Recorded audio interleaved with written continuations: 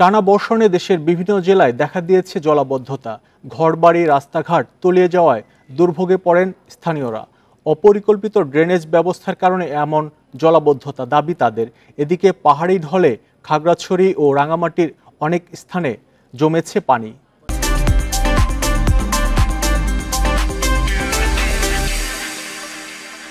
টানা বর্ষণ এই টানা বর্ষণের কারণে লক্ষ্মীপুর পৌরসভার বিভিন্ন স্থানে জলবদ্ধতা তৈরি হয়েছে। বিশেষ করে লক্ষ্মীপুরের মিয়াবতয় সড়ক বাঞ্ছানগর যে রোড এবং কলেজ রোড সহ বিভিন্ন এলাকায় আমরা দেখেছি, হাঁটু পরিমাণ পানি জমেছে। তবে আজকে কিন্তু সকাল থেকে আমরা দেখেছি যে পানি কিন্তু অনেক ক্ষেত্রে কিন্তু কমতে শুরু করেছে, যদিও পানি কমে কিন্তু জলবদ্ধতা এখনও রয়েছে। বিশেষ করে যেসব এলাকায় পানি এখনও জলবদ্ধতা রয়েছে, সেখানে পৌরসভার পক্ষ থেকে কাজ করা হয়েছে।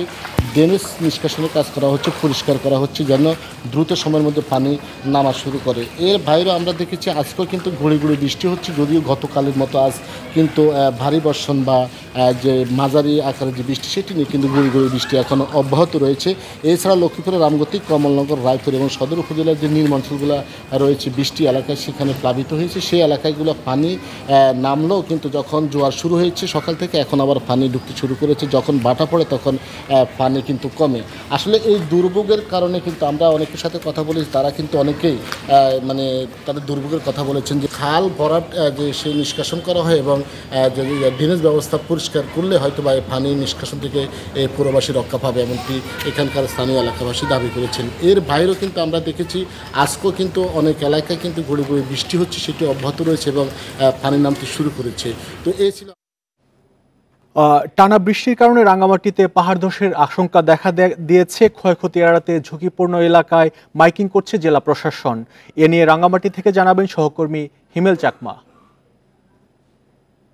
শহরের রূপনগর শিমুলতরি বেটার কেন্দ্র এলাকা স্বর্ণতিলা, কল্যাণপুর, বেদবির, লোকনাথ মন্দির এই সমস্ত এলাকা কিন্তু পাহাড় দোষের প্রবণতা অর্থাৎ ঝুঁকিটা কিন্তু বাড়ছে।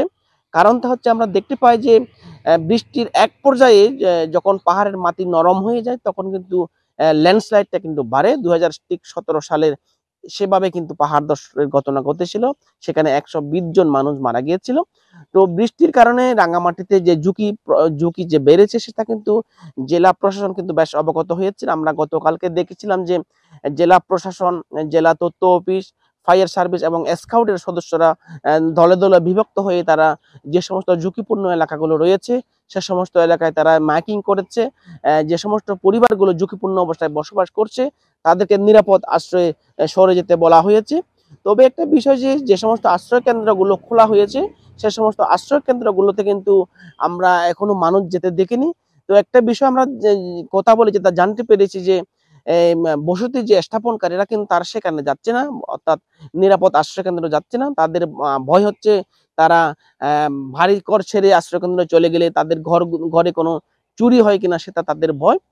তো অন্যদিকে আমরা দেখতে পাচ্ছি যে বৃষ্টির কারণে রাঙ্গামাটির বাগাইছড়ি উপজেলার যে কাশলং নদীর পানি বৃদ্ধি পেয়েছে, যার কারণে বাগাইছড়ির তে বন্যা দেখা দিয়েছে। তো সবকিছু মিলে বৃষ্টিপাত যদি অব্যাহত থাকে সেক্ষেত্রে রাঙামাটিতে কিন্তু পাহাড় দোষের ঝুঁকিটা কিন্তু আরও বাড়- বাড়ে।